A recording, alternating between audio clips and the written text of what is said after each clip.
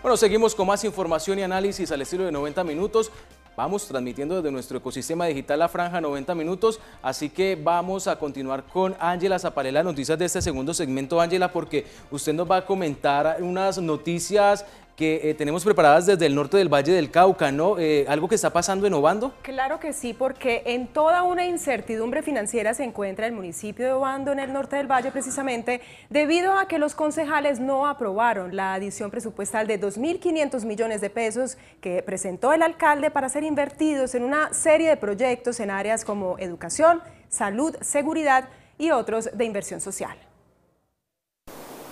Con los dineros para inversión congelados, permanece el alcalde de Obando, Oscar Marino Vadillo, quien aseguró que la plata se necesita con urgencia para continuar con la inversión social. Le han dejado congelados eh, los recursos de la, del complemento nutricional, del transporte escolar, de eh, COMPES de primera infancia, que es para el mejoramiento del hogar infantil y de la parte pediátrica del hospital local dejaron congelada la plata para eh, hacer el convenio con Acuavalle para los subsidios del recibo del agua. Es decir, que si esto no se descongela, próximamente llegarán los recibos de Acuavalle con la tarifa full. Los recursos del Fondo de Seguridad están congelados en este momento. Tenemos un proyecto para comprar cámaras de seguridad, para articularlo al proyecto de la gobernadora y hacer una mayor cobertura de lo que es este esquema de seguridad. Esto, entre otros recursos de primera necesidad como los del régimen subsidiado que también quedaron congelados. Frente a esta problemática, el mandatario solicitó un concepto jurídico a la Contraloría Departamental con el fin de que se revise el actuar de los concejales. Lo que tienen que tomar es una decisión real si le van a responder a la comunidad que los eligió o si definitivamente le van a decir que no. Luego entonces el Contralor General del Departamento o el Contralor General de la República o la autoridad competente que me diga qué hago yo, porque no podemos quedarnos con estos eh, recursos congelados. De los 11 ediles que tiene el municipio, 8 se negaron a la iniciativa, dos más dieron su voto positivo y el cabildante restante se encuentra incapacitados. Son 2.500 millones de pesos los que necesita la administración local para avanzar en el plan de desarrollo y en la firma de convenios con diferentes entidades. Y en Candelaria empezarán a implementarse medidas especiales de seguridad a partir de esta noche. ¿Cuáles son esas medidas? Miguel Ángel Palta, buenas tardes. Buenas tardes, hoy a las 10 de la noche empieza el toque de queda en este municipio. También habrá restricción al parrillero hombre, todo para contrarrestar los últimos hechos de violencia en este municipio. El enfrentamiento entre pandillas donde se vieron involucrados menores de edad obligó a tomar esta medida. Que ahora los niños tienen que estar durmiendo los menores en su casa. Eso está muy bueno porque pues, los niños deben estar en su casa temprano, ¿no? Los menores que sean sorprendidos en la calle en horas restringidas serán enviados a un lugar especial. Vamos a hacer en el Polideportivo de Candelaria, recordémosle a la comunidad candelareña que este sitio no va a ser un foco tampoco de inseguridad ni de problemas, es un sitio donde solamente se llevan las personas, sobre todo aquellas que están en estado de indefensión o aquellas personas que, por ejemplo, eh, consumieron licor en exceso, se encuentran solas en la calle. Otra de las medidas de seguridad será restringir el parrillero hombre. Caballero, para que tengan conocimiento, a partir de las 10 de la noche está prohibido acá en la jurisdicción de Candelaria el parrillero hombre. Todas estas acciones irán acompañadas de patrullajes permanentes de la policía en Candelaria. Y vamos a una noticia positiva porque 206 personas en situación de discapacidad que viven en el Valle del Cauca fueron los primeros beneficiados de un programa piloto que modifica las viviendas para garantizar la movilidad e independencia dentro de sus casas. Kevin Camilo Aguirre tiene 20 años y nació con parálisis cerebral. Su madre Lidinci es la persona que en la mayor parte del día lo acompaña y se encarga de atenderlo. La mayor dificultad que afrontaban al interior de su casa era el momento de ir al baño. El baño que nosotros teníamos era muy pequeño, entonces él no podía entrar con la silla, había que cargarlo para entrarlo, había que bañarlo muchas veces afuera porque era muy incómodo bañarlo en la parte de adentro. Él no camina, entonces hay que levantarlo, él pesa bastante, entonces sí, hay que tener mucha fuercita. En total son 206 viviendas en todo el Valle del Cauca donde habitan personas con algún tipo de discapacidad que recibieron mejoras como adecuación de baños para pacientes con movilidad reducida y dispositivos visuales para personas con limitaciones auditivas. Entonces estamos haciendo mejoramiento de vivienda, eh, a esas personas se les hace todas las, todo lo necesario para que no hayan barreras en su casa, porque muchas veces la primera barrera que encuentran las personas en condición de discapacidad es precisamente su casa. Es mejorar la calidad de vida no solamente de la persona con discapacidad, sino de sus cuidadores porque sienten más autonomía y los cuidadores están más tranquilos. La iniciativa de la que el Departamento del Valle fue piloto será reproducida en otras viviendas del país y la Procuraduría General de la Nación sancionó con suspensión de un mes al rector del Instituto Departamental de Bellas Artes del Valle del Cauca y por el término de tres meses al ex rector. Los funcionarios ya fueron notificados de dichas sanciones. La Procuraduría Regional del Valle del Cauca sancionó con suspensión de un mes al rector del Instituto Departamental de Bellas Artes, Ramón Daniel Espinosa Rodríguez, y por el término de tres meses al ex rector Fernando Charria García, esto por irregularidades en el ejercicio de sus funciones. Los funcionarios ya fueron notificados por el ente del Ministerio Público de dichas sanciones. Del actual rector del Instituto Departamental de Bellas Artes, el doctor Ramón Daniel Espinosa, eh, por una suspensión de un mes y el ex rector Fernando Charria por una suspensión de tres meses por una falta en la contratación en su momento la falta de autorizaciones para la renovación de contratos de el nombramiento de provisionalidad del, del director de la banda departamental. La Procuraduría además anunció que también sancionó a Cristina Arango, actual directora general de la Administradora de Recursos del Sistema General de Seguridad Social en Salud, ADRES. Esto porque cuando estaba en la gerencia de la empresa de Servicios Públicos en Cali, despidió dos trabajadores con fuero sindical. La funcionaria deberá pagar una suma cercana a los 120 millones de pesos, equivalente a los seis meses de suspensión que profirió este ente del Ministerio Público y Clara Luz Roldán ya es la candidata oficial del partido de la U a la gobernación del Valle. El presidente del partido de la U, Aurelio Iragorri, fue el encargado de entregarle el aval a Clara Luz Roldán. Así oficializó su candidatura a la gobernación del Valle del Cauca. El problema que atacará frontalmente de llegar a ser gobernadora será el de la seguridad. Y es el tema de la seguridad. En eso vamos a trabajar de la mano de los alcaldes, porque hay que tener en cuenta que los alcaldes son la primera autoridad del municipio. Lo que nosotros hacemos desde la gobernación es coayudar y trabajar para que los ingresos que hoy tiene la tasa de seguridad se destinen a cámaras. Clara Luz también aseguró que de llegar a la gobernación del Valle su trabajo estará orientado a impulsar al departamento en varios temas. Los tres temas pilares de mi gobierno van a ser el turismo, el emprendimiento y el medio ambiente. Son tres temas en los que vamos a trabajar, estamos haciendo una propuesta excelente y que los tres van ligados, porque si tenemos turista vamos a tener empleo, vamos a generar proyectos de emprendimiento y obviamente el mayor turismo que vamos a hacer es el ecoturismo. En materia de infraestructura aseguró que dará continuidad a todas las obras que empezó a ejecutar Dilian Francisca Toro, las obras de acceso a Cali y la conexión con los corredores viales del departamento que ayudan al impulso de la economía.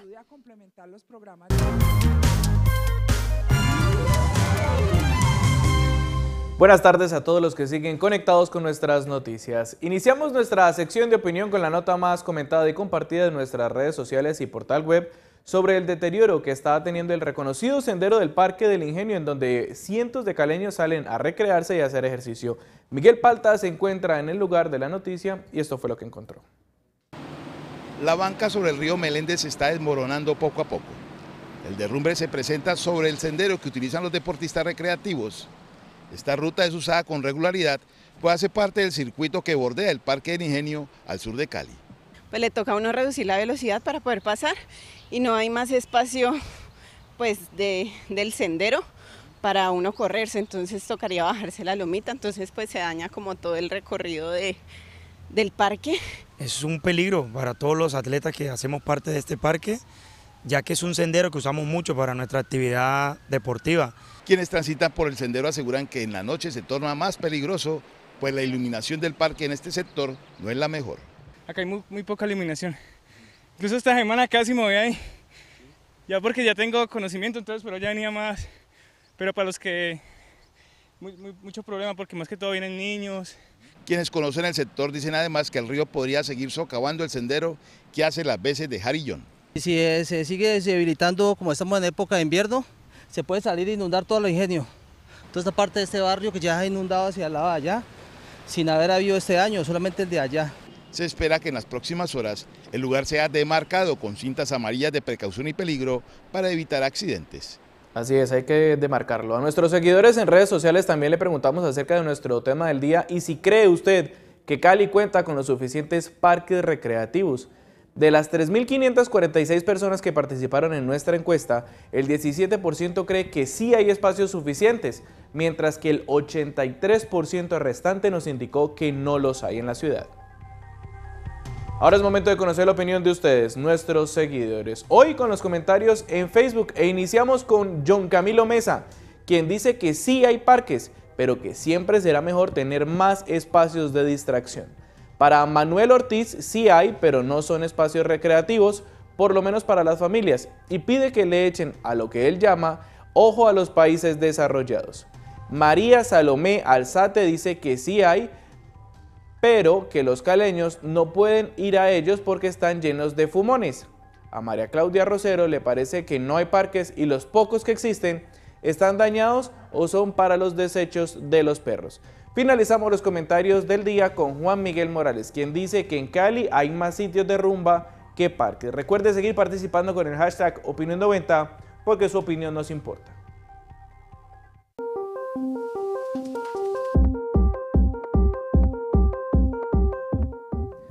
La cifra del día tiene que ver con el número de horarios con los que cuenta Santiago de Cali para la realización de deporte a lo largo y ancho de la ciudad ya que de acuerdo con la administración municipal, la ciudad cuenta con más de 500 escenarios públicos y comunitarios que están dotados con espacios y elementos que permiten a los caleños realizar ejercicio.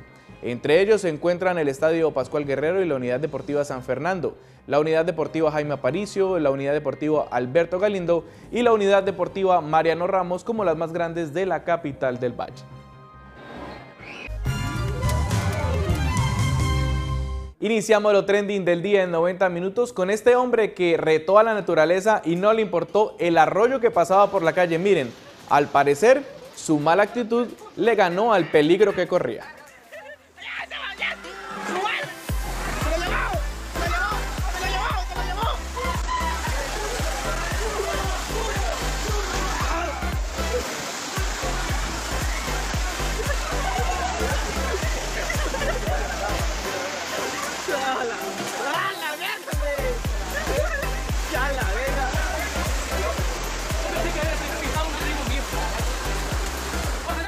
Por más mal genio que uno tenga, uno no reta la naturaleza.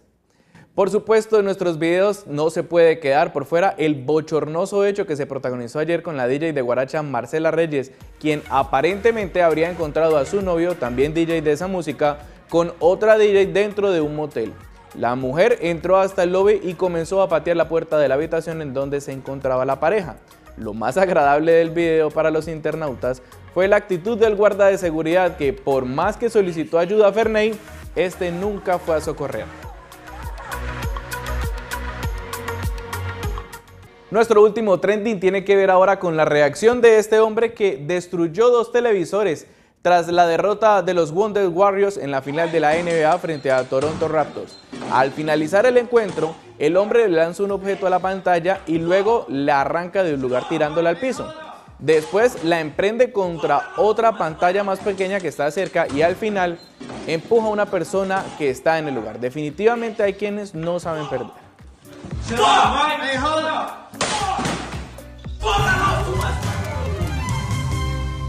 En nuestros posts tenemos estas imágenes indignantes con los animales. Miren lo que sucedió con este conductor de un ferrocarril que logró ver a lo lejos a un perro que había sido dejado amarrado a una de las vigas de la vía para muy seguramente al paso del tren acabar con la vida del canino. El hombre logra parar a metros antes y al bajarse ve al canino que está desesperado y asustado en el lugar. El hecho ocurrió en Chile. No se hace, mire, mire. Eso no se hace. Así nosotros con el tren. Ay Dios, ojalá la raza humana. Para finalizar nuestros videos del día les voy a mostrar una buena forma de no quedar oliendo abajo en el momento de pelarlos una metodología que tiene revolucionados a los amantes de la cocina en redes sociales.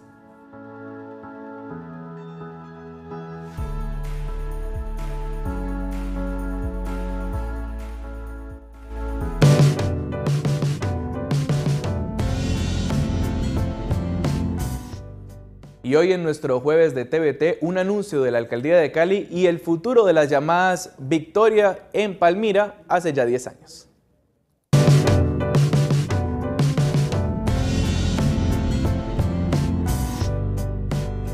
Y en nuestro jueves de TVT hoy recordamos que hace 10 años la alcaldía de Cali anunciaba el cierre definitivo de la escombrera de la carrera 50. Esta mañana 10 volquetas continuaron trasladando por lo menos 44 mil metros cúbicos de escombro desde el sur de Cali hasta el corregimiento La Dolores en Palmira. Puede llevarse 15 días porque lo que hemos ido encontrando es que digamos, el talud y la configuración de esta montaña de escombros requiere un trabajo más, más lento en algunas partes. Ese mismo año se abría la discusión si las llamadas victorias en Palmira deberían desaparecer. Hoy está la imagen que se puede encontrar, una o dos victorias tratando sus cocheros de darle la vuelta al parque para tratar de conseguir usuarios, pues se les prohíbe parquear en el mismo. Tenemos que estar andando, volteando y volteando para poder nosotros salir a conseguirnos el dinero. Y en el 2009, la emisora de la Fundación Carvajal cumplió 35 años al aire. Sorprendimos a Amparo Sinisterra de Carvajal, alba y nervio de esta historia que se ha convertido en patrimonio de la cultura y los medios de comunicación de la región y el producto de su liderazgo. Empezamos en una forma muy artesanal, solo unas pocas horas. Hoy en día ya estamos eh, transmitiendo en MP4, estamos en, la, en, la, en internet. A la 1 y 46 de la tarde los dejo con los indicadores económicos con el patrocinio del programa de Mercadeo y Negocios Internacionales de la UAO. La tasa representativa del mercado bajó, hoy se cotiza en 3.248 pesos con 91 centavos. El precio del dólar en casas de cambio se mantiene estable, hoy se vende en 3.089 pesos y se compra en 2.940. El precio internacional del café también se mantiene en un dólar con 29 centavos la libra. El euro bajó, hoy se cotiza en 3.611 pesos. La VR sigue su tendencia al alza y llega a los 267 pesos con 27 centavos. El precio del petróleo WTI subió, hoy es de 56 dólares con 6 centavos el barril. Y el precio internacional del azúcar bajó y se vende en 12,46 centavos de dólar la libra. Una noticia está en desarrollo en 90 minutos. Gracias por seguir conectados con nuestras noticias. Ampliamos la información sobre la explosión que se presentó en la calle Tercera con carrera cuarta del barrio Belalcázar en Jumbo, donde está ubicada la notaría 2 de ese municipio. Las autoridades indican que se trató de un escape de gas originado en la cocina y que hasta el momento deja seis personas lesionadas. Debido a sus gravedades están siendo trasladadas al Hospital Universitario del Valle en Cali.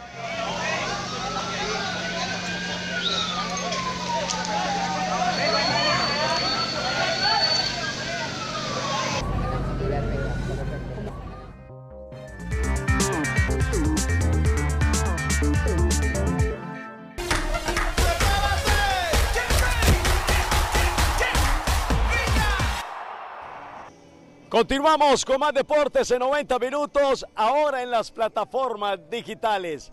Buen triunfo de Colombia, algo apretado, pudo ser mejor. Las reacciones de los jugadores del combinado nacional y del público, aquí está, en 90 minutos. Siempre es difícil, eh, creo que ellos fueron muy ordenados, cerraron muy bien los espacios. Yo creo que aparte de eso, nosotros creamos opciones, eh, llegamos con, con claridad. Eh, ellos con un par de contragolpes, eh, como lo han demostrado, como lo, como lo demostraron con Paraguay y con Brasil, en ese partido amistoso que tuvieron, eh, podrían generar algo, pero nada, el equipo mostró ese carácter, siguió intentando en todo momento y por fortuna se abrió el marcador a, un minuto que, que, por ahí la gente dice, no, pudimos hacerlo mejor o no, simplemente si hubiésemos abierto el partido antes la historia hubiese sido diferente, pero nada, contento por la clasificación y los tres puntos. Yo creo que todos tenemos esa, esa misma, ese, ese, mismo pensamiento, de poder hacer cosas grandes y de, poder quedar campeones, pero bueno, hay que estar tranquilos y hay que ir partido a partido. Voy a hacer eh, cambios básicamente eh, en las circunstancias de que estamos calificados en la clasificación. Vamos a hacer un análisis eh, de la situación de los alcanzados, la fatiga, Los hinchas del equipo colombiano de la tricolor ahora solo piensan en Paraguay. Colombia está muy cerca de hacer 9 de 9. ya está clasificada a la siguiente ronda. En la capital del Valle, los hinchas de la tricolor celebraron la clasificación de la selección Colombia a los cuartos de final.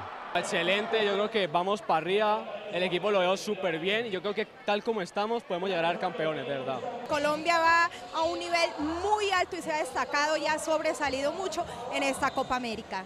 Con la victoria de Colombia que ganó en el grupo B, los hinchas ya están a la expectativa del posible rival en cuartos de final, Chile o Uruguay. Con Chile. Para quedar campeón hay que ganarle a todos. Prefiero Uruguay porque es el más potente. Sería interesante ver un partido Colombia-Uruguay. Chile primero, Uruguay que nos veamos en semifinal. El partido de la última fecha de fase del Grupo B será este domingo a las 2 de la tarde ante Paraguay. A propósito de esta Copa América y del buen trabajo de Carlos Queiroz, veamos los números de la selección Colombia en las ediciones coperas del evento más antiguo del mundo. Colombia clasificó por novena vez a cuartos de final de la Copa América como líder del Grupo B. En 1975 la tricolor pasó con 8 puntos, en el 87 con 4, en 1991 y 93 con 5 puntos, en la edición de 99 y 2001 con 9 unidades, en 2004 y 2011 con 7 puntos y ahora con 6 a falta de un juego. En su historial de participaciones en la Copa América, la selección Colombia ha disputado 115 partidos, de los cuales ha ganado 44, empatado 24 y perdido 47, con 134 goles a favor, 184 goles en contra y un total de 156 puntos. El actual goleador es Dubán Zapata, que hasta hoy completa tres anotaciones con la selección Colombia. Como profesional, el delantero caucano en su paso por América de Cali marcó 13 goles, en Estudiantes de Argentina 22, en Napoli 15, en Udinese 19, en Sampdoria 11 y en Atalanta 28 tantos. Los dirigidos por Queiroz jugarán este domingo en Salvador Bahía cerrando el grupo B. Hasta aquí los deportes en 90 minutos desde Sao Paulo, en Brasil.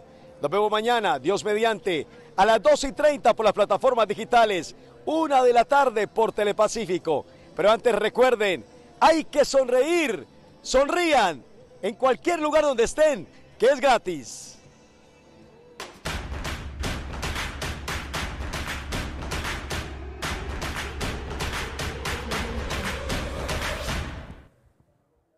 Hola, ¿qué tal? Les doy la bienvenida nuevamente a 90 Te lo cuenta. Iniciamos nuestra sección contándoles sobre un evento de ciudad que destaca lo mejor de la salsa. Veamos.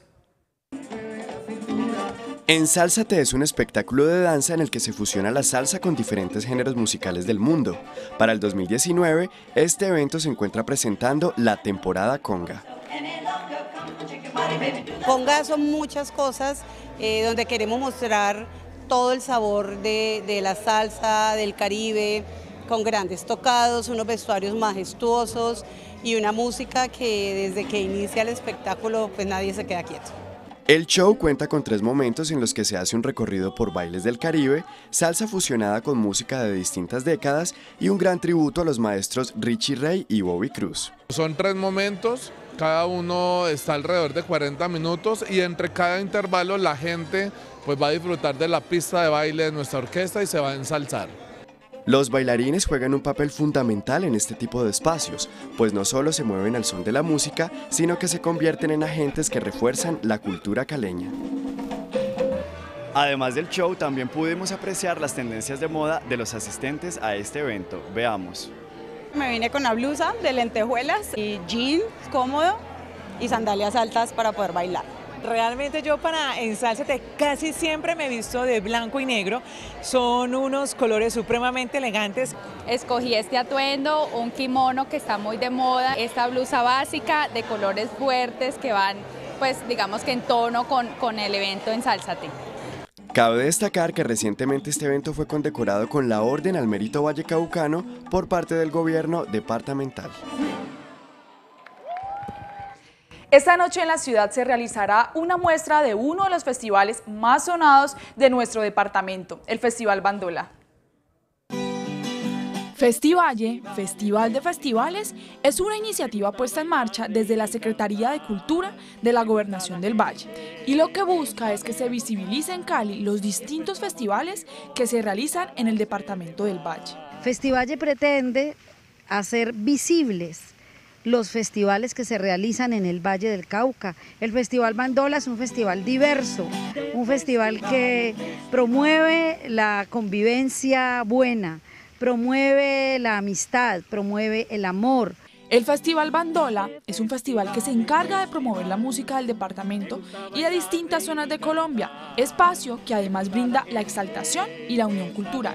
En el Festival Bandola usted puede encontrar reggae, puede encontrar bambuco, puede encontrar música de los litorales, puede encontrar diversidad de, de músicas. El Festival Bandola, que tendrá una muestra esta noche en nuestra ciudad, tomará lugar en el mes de agosto en el municipio de Sevilla Valle. En otras noticias, la capital de Nariño está de onomástico y para celebrarlo se desarrolla el cuarto foro de cultura ciudadana con la participación de Rigoberta Menchú, Premio Nobel de Paz, Julio César González, Matador, el filósofo Julián de Subiria y el investigador Resenberg Ariza, quienes hablaron de interculturalidad, libre expresión y paz en Colombia. Ante medios de comunicación, Rigoberta Menchú dijo estar preocupada por el aumento de la violencia y el temor de la gente a denunciar en un país como Colombia. Está en contra de la pena de muerte, pero sí apoya la máxima condena en prisión. Su pronunciamiento se hizo durante la instalación del Cuarto Foro Internacional de Cultura Ciudadana en Pasto. Ustedes saben que aquí las armas tienen mucho que ver con nuestra de violencia. También la droga tiene que ver y también la impunidad. Sergio de Subiría, filósofo que fue designado por la Mesa de La Habana como uno de los 12 académicos integrantes de la Comisión Histórica del Conflicto y sus víctimas, y Rosenberg Ariza, investigador en derechos humanos, coincidieron en que la paz de Colombia debe estudiarse desde la interculturalidad. Desde los territorios no será paz completa. Pasto es la ciudad donde es posible la interculturalidad y es la ciudad más intercultural. Y en Noticias del Mundo del Cine les contamos que una de las películas más taquilleras por estos tiempos vuelve a las salas de cine del país pero con escenas inéditas. Les hablo de Los Vengadores Fin del Juego. Así lo anunció el presidente de Marvel. Al parecer, el reestreno trae escenas extras, una escena postcrédito y una sorpresa.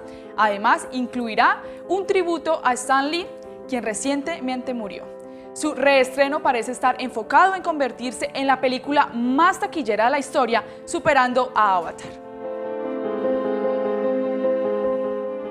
Y seguimos con música, pues Rap Band Club, la banda de hip hop colombiano, lanza su sencillo musical titulado RBC, un sencillo que busca resaltar lo mejor de la agrupación.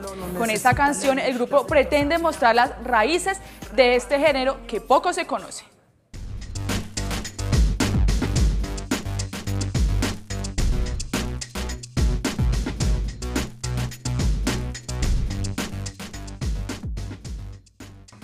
Hola amigos, nosotros somos el Rap Band Club queremos enviarle un saludo muy especial a la gente de 90 Minutos de Telepacífico.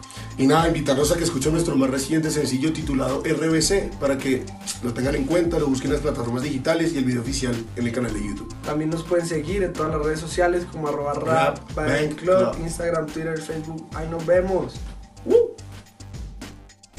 saludo para ellos. A propósito de películas, salió el tráiler de Toy Story 4, ¿no? Sí. Usted toda la vida, no sé, 10 años esperando esta Claro película.